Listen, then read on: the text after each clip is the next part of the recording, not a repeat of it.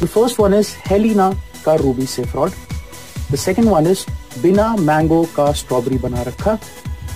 group thirteen is बाल गायब in Taliban then it is college students get some problem then it is नाती पोता आशा सब बीमार ओस से तेरी पूजा फॉल्स सीबीआई एक्ट हीरो ने